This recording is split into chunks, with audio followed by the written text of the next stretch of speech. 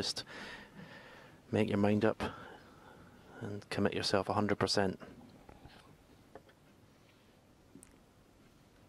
It's a very tough pot. Arguably a 1 in 10.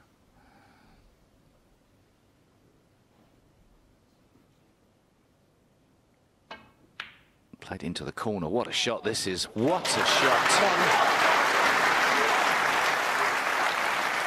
Shot of the tournament so far, I suggest.